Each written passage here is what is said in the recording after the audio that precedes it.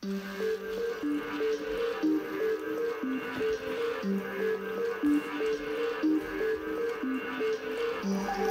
up in an empty bed, all alone with the words you said. Did you really mean to say goodbye? You couldn't even look into my eyes.